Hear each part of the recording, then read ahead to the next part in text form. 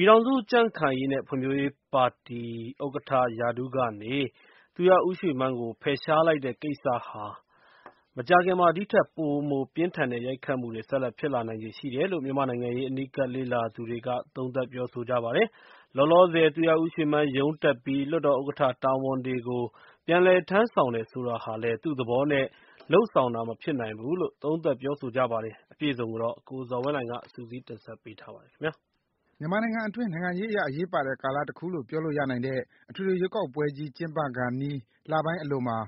ပြည်သူ့လွှတ်တော်ဥက္ကဋ္ဌ သူရဦးရွှေမန်း လက်ရှိအာဏာရပါတီအကြီးအကဲ ရာထူးကနေ ဖြုတ်ချခံလိုက်ရတာ ဖြစ်ပါတယ်။ဒါ့အပြင် လက်ရှိအစိုးရအနေနဲ့ ပြုပြင်ပြောင်းလဲရေးလုပ်ငန်းတွေကို အမှန်တကယ် လိုလိုလားလား လုပ်ဆောင်နေရဲ့လားဆိုတဲ့အပေါ်မှာလည်း နိုင်ငံတကာက အနီးကပ် စောင့်ကြည့်နေတာမျိုးတွေ ရှိနေတဲ့အတွက် သူရဦးရွှေမန်းကို ရာထူးက ဖြုတ်ချလိုက်သူတွေဟာ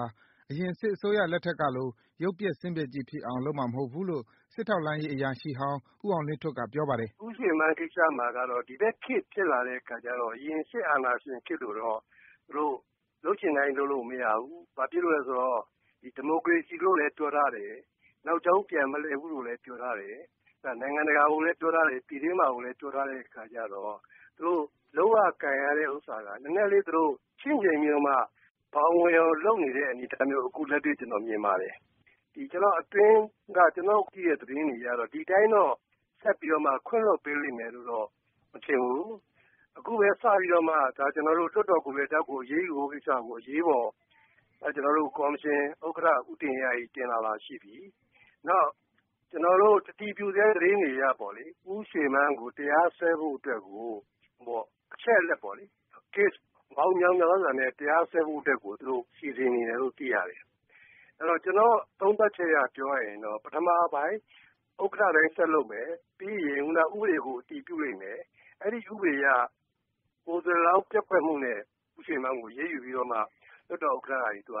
ရားဝင် ဥပဒေအတိုင်း လုပ်တဲ့အခါမှာ ဖြုတ်ချလို့ရတယ်။ပြီးရင် ဆက်ပြီးတော့မှ Action တွေ လာလိမ့်မယ်။တရားစွဲတာတွေ ဥပဒေအတိုင်း လုပ်တာတွေဆိုပြီးတော့မှ အကုန်လုံး သူရဦးရွှေမန်းကို တခြား စီးပွားရေးကိစ္စတွေနဲ့လည်း အရေးယူနိုင်စရာရှိတယ်လို့ ဦးအောင်လင်းထွဋ်က ပြောပါတယ်။သောကြာနေ့က သူရဦးရွှေမန်း လွှတ်တော်ရုံးကို ပြန်သွားပြီး တာဝန်ထမ်းဆောင်တယ်ဆိုတာဟာလည်း သူ့သဘောနဲ့သူသွားတာ မဖြစ်နိုင်ဘူးလို့ ဦးအောင်လင်းထွဋ်က ဆက်ပြောပါတယ်။“အင်မတန်မှ ညံ့ဖျင်းတယ်နော်။ကျနော်တို့ သာမန်ရိုးရိုးတွေးလို့မရတဲ့ အတွေးမျိုး အဲဒီ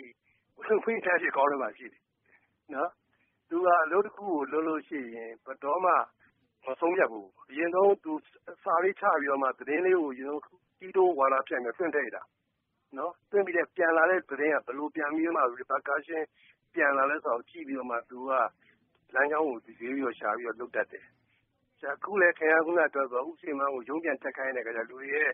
Tension လျော့သွားတယ်။”နိုင်ငံရေးလေ့လာသုံးသပ်သူ ဦးစည်သူအောင်မြင့်ကလည်း သူရဦးရွှေမန်းကို တဆင့်ပြီးတဆင့် အရေးယူမှုတွေ လုပ်ဆောင်သွားလိမ့်မယ်လို့ သုံးသပ်ပါတယ်။“အခုလုပ်တဲ့ကိုင်တဲ့ဟာတွေက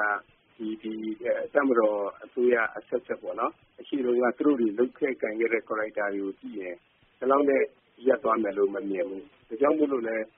သူတို့ တဆင့်ပြီးတဆင့်လုပ်တာ။အဲဒီလိုလုပ်ရတာလည်း အကြောင်းရှိတာပေါ့။အကြောင်းရှိတယ်ဆိုတာက အခုဖြစ်ပေါ်နေတဲ့ အနေအထားရော၊သူတို့ရဲ့ ရက်ရရှိမှုပေါ့နော် အချိန်ရရှိမှု အနေအထားရော ပြီးတော့မှ အရင်ခေတ်တုန်းကလိုမျိုး တပြိုင်နက်တည်း အကုန်လုံးရလို့မရတဲ့ ဟန်ပြဒီမိုကရေစီလေး ရှိနေတဲ့ အနေအထားရော အဲဒါကြောင့်မို့လို့ အခုလို လူမြင်ကောင်းအောင်တော့ နည်းနည်းလုပ်နေတာပေါ့နော်။တဆင့်ပြီးတဆင့် လုပ်မယ်လို့ ကျနော်မြင်ပါတယ် အဲဒါကတော့။”လက်ရှိအစိုးရက ဦးဆောင်လုပ်ကိုင်နေတဲ့ ဈေးကွက်စီးပွားရေး၊ရင်းနှီးမြှုပ်နှံမှု၊မကြာခင်ကျင်းပတော့မယ့် ရွေးကောက်ပွဲ စတဲ့ကိစ္စရပ်တွေမှာတော့ ပြောင်းလဲမှုမရှိဘဲ ဆက်လက် လုပ်ဆောင်သွားကြလိမ့်မယ်လို့ ဦးစည်သူအောင်မြင့်က ပြောပါတယ်။သူရဦးရွှေမန်း ပါတီအကြီးအကဲတဦးအဖြစ်ကနေ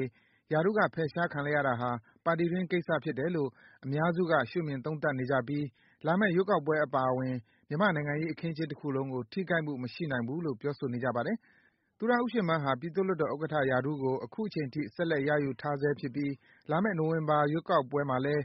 ဖြူးမြို့နယ်ကနေ ဝင်ရောက် ယှဉ်ပြိုင်မယ်လို့ ကြံ့ခိုင်ရေးပါတီ တာဝန်ရှိသူတွေက ပြောပါတယ်။နောက်ဆုံးရရှိထားတဲ့ သတင်းတွေအရကတော့ သူရဦးရွှေမန်းရဲ့ သားဖြစ်သူ ဦးတိုးနိုင်မန်းရဲ့အိမ်မှာ လုံခြုံရေးအစောင့်တွေချထားပြီး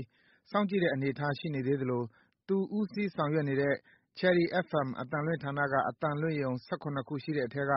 ၁၆ ခုဟာ Signal မရတဲ့အတွက် အသံလွှင့်လုပ်ငန်းတွေ လောလောဆယ်